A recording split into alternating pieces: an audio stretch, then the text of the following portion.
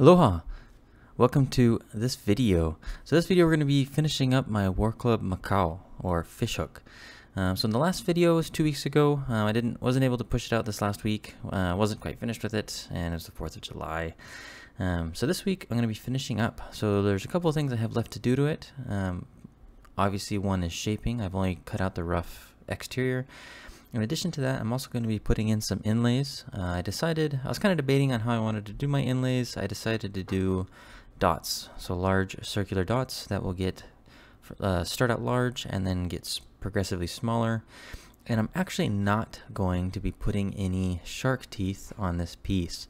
So I'd almost, I'd say 95% of the pieces that I make, that I make have shark teeth on them. Um, because of the design and layout and overall aesthetic of this piece, I didn't want to put shark teeth on it. Um, I thought it would kind of just detract from what I want to be the focus, and that's just the overall pattern of the War Club Makau. Uh, Makau means uh, fish hook in Hawaiian. For those of uh, those of you who didn't tune into my last video, um, go ahead and take a look at that if you want to see the start of this project. Uh, so what I'm doing here is I'm just drilling in these holes and the purpose for the holes is so that I can keep track of where I'm going to be putting in those inlays later on. Um, I shouldn't have drilled them all the way through. I should have just tapped them in a little bit. That was kind of a mistake, but it worked out. Uh, what I'm doing here though is before I get too far on the shaping, I want to go ahead and make sure that all of the rounded edges on both the inside and on the outer edges all have a good flow to them. The main reason why I'm doing this rough shaping here first before bringing down the rest of the piece is I have a lot of material to remove on those inner edges and so I, I don't want to spend time making the crisp clean lines that go on the outside that will be on the outside um, when I still have a lot of material to remove on the inside because I'll just have to remake those lines and it'll just be a lot of you know, redundant work. Um, so I had quite a bit of chisel work on this piece. Um, it actually was a little bit of back and forth. So I started it here in the beginning, and then I went through, sanded, finished shaping, um, and then at the end I went back and cleaned up one last time with the chisels. Um, I actually sh sharpened my chisels just for this project, and man, was I happy I did so. Having sharp chisels is just so nice. Uh, I sharpened them up to, I think it was 6,000 grit. So it took me a good, I think, hour to go through and sharpen all of my chisels, but it was 100% worth it. Um, so now that I've got everything kind of in a good rough shape, now I'm going to go through and start uh, cleaning up some of the more some of the edge work as well as finishing up the sanding and shaping. Um, the barb, that's what that section is there. Um, I wanted to make the connection point between that and the barb uh, more dramatic, um, just so that it would stick out some more. Um, the because of the look of the koa wood, it, it kind of hid the contrasting lines, and so that was kind of unfortunate. Um, and so because of that, I made it a little bit deeper. So you can see, for example, from here, you almost can't even see those those lines. Now you're looking at it from the other direction, um, but it was kind of a challenge to make it really pop and, and give me the aesthetic look that I wanted. Uh, I probably won't be testing this piece, um, primarily because you could see that section there that was uh, dark with speckled white. Um, so there's a little bit of spalting going on there, and then there's a little bit of probably wood rot historically that was going on there.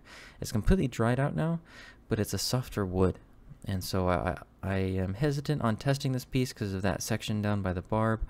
I, I just don't want to break off a chunk of the edge and have to fix that. That would just be a complete hassle.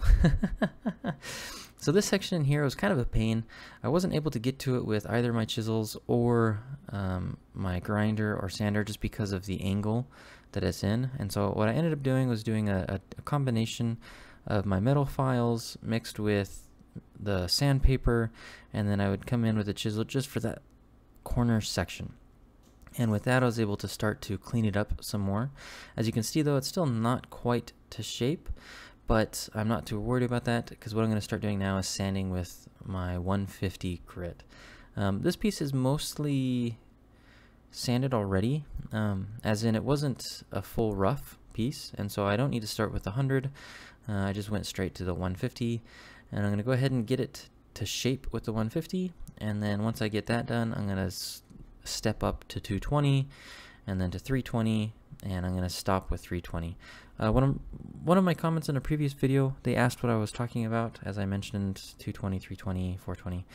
Um, actually, I don't have any 420 grit. I had 400 grit. Uh, that's referring to the sandpaper. Um, the higher the grit number, so if you have 100 grit versus uh, 400 grit or 1000 grit, the finer it's getting.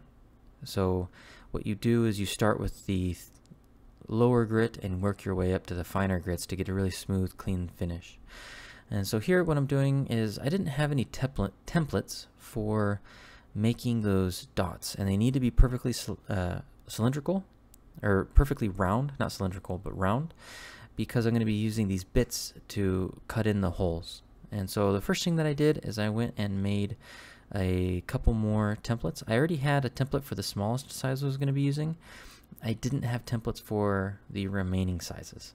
Um, and so I, I, I, don't really have a clean way of making these templates. I did this once before and it worked out well. I just put a little bit of water on the pearl, use that bit to etch into it to draw a good line, and then take that to my grinder and sand on my grinding disc and sand it down. And so now I have my templates. I can now transfer those templates onto uh, other pieces of, of pearl and, and have good outlines that I can grind down to. Here I was just playing around with some different designs um, just to see how I wanted to place it. I ended up picking a design where it's going to go too large, too medium, um, and then two, because there's four sizes, too large, two second of the large, two the smaller, and then one of the smallest. Um, not wanting to waste too much of this material, what I'm doing is I'm scoring it and then breaking it in half.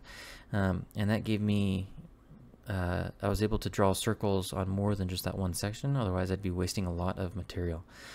And so that's what I did here is I just transferred these template design onto those white mother of pearl blanks here. So this is just chunks of, of mother of pearl. And then I'm taking it to my disc grinder. So it's just a, a common disc grinder. And then shaping it from there. And then using the metal file there to kind of finish off the edge work. So there's all four that uh, is going to be used of the larger ones. And then from there, I'm going to make the rest of them. I'm going to skip most of that process. It's all the same process over and over. Um, so here's the finished uh, process with all of the remaining dots. So there's the largest, the second largest, third, and then the smallest. Now the smallest only have two dots because of the design pattern. And you'll see what I mean here. So the design pattern that I went with, you can see there it progressively gets smaller, but um, the smallest one only has a single dot. Um, I did that partially out of space requirements and then other because I thought it kind of looked a little bit better just to have that one dot at the end. Um, so this is what I'm using to cut in those uh, inlays. Um, so I specifically made those dots so that they would be just about a perfect fit with the associating drill bits.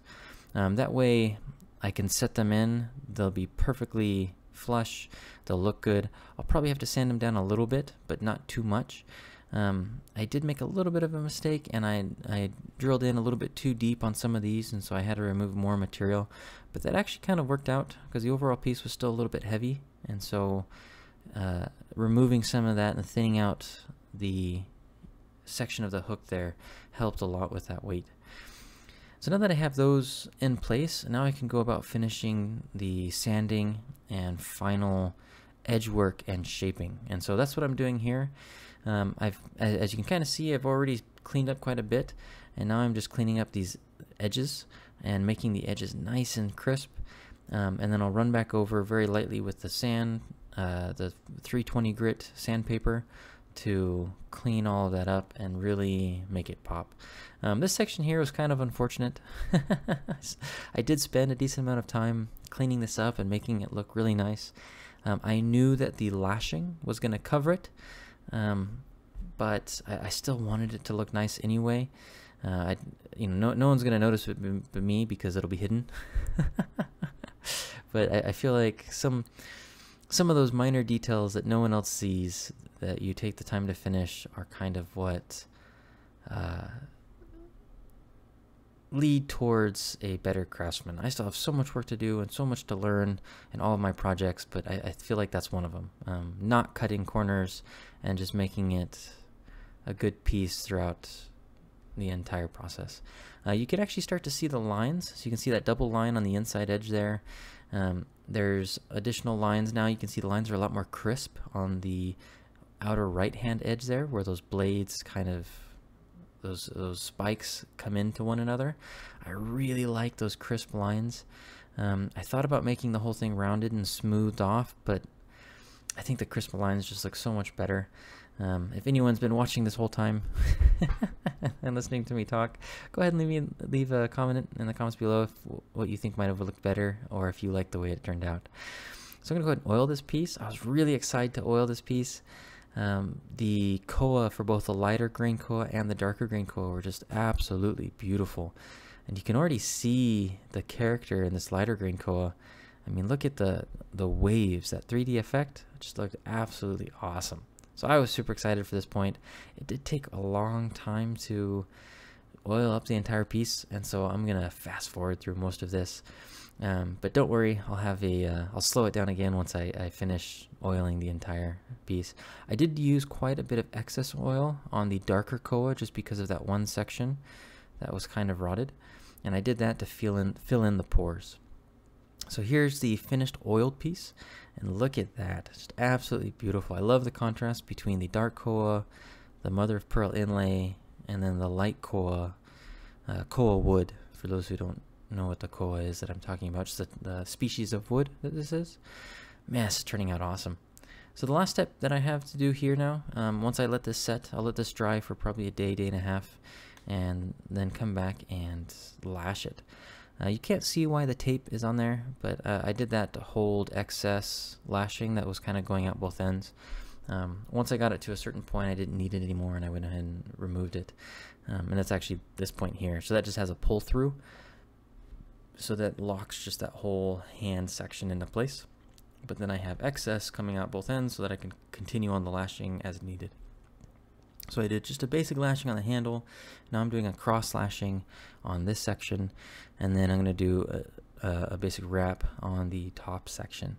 Um, and this is really just for grip. Um, I mean, I guess if you were fishing with this, this would uh, continue on up to something that would be line onto a hook, but it's not meant to be a fishing hook. it's meant to more more like a Maui's fish hook, uh, larger design.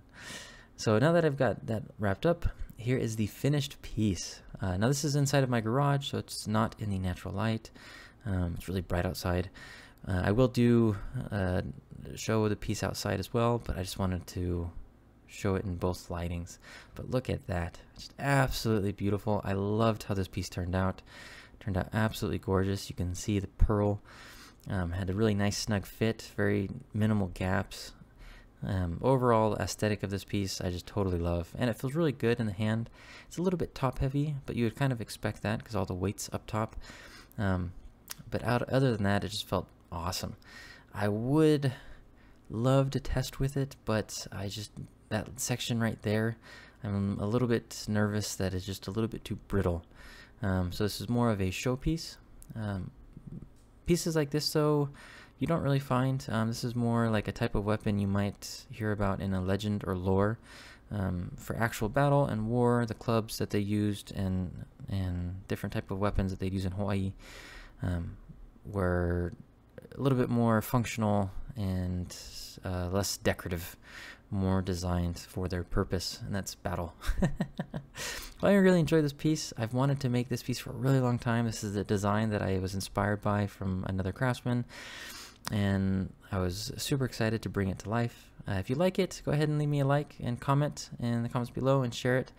Uh, mahalo everyone for tuned in, and uh, if you have any suggestions for anything else, let me know. I'll see you next time, and mahalo for watching.